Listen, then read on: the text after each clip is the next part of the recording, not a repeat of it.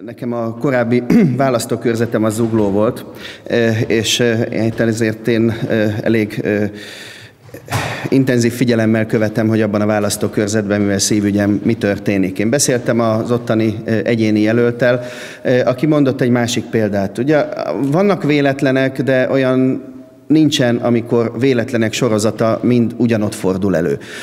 Zuglóban körülbelül 700 ember el több kíván szavazni, jelentkezett át.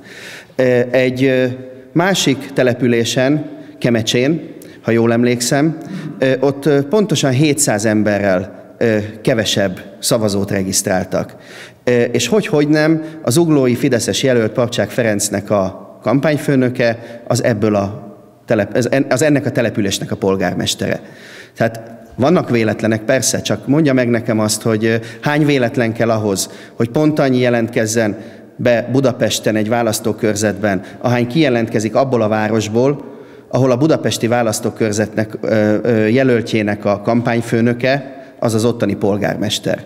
Ha erről bővebb információt akar, akkor Tóth Csaba képviselőtársam biztos, hogy áll rendelkezésére, de én azt gondolom, hogy ezek már a véletlennek olyan formái, amelyekben mögött bizony szándékosság feltételezhető.